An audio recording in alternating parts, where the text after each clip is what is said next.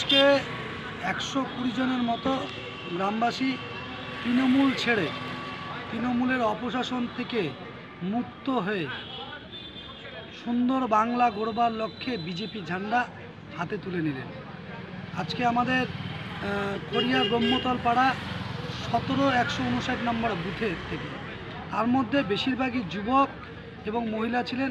তারা সকলেই প্রধানমন্ত্রীর যে উন্নয়নমূলক চিন্তাধারা উন্নয়নমূলক যে কর্মকাণ্ড তাতে অনুপ্রাণিত হয়ে সকলে তৃণমূল ছেড়ে বিজেপিতে যোগদান